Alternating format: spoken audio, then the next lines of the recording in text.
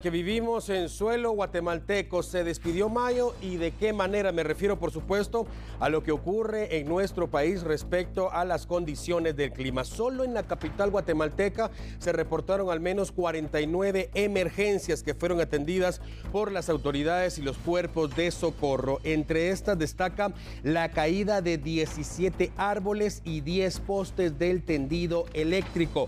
También se reportó el colapso de drenajes en distintas zonas de la capital, aunque lo más fuerte, según las autoridades, ocurrió en las zonas 3 y 18.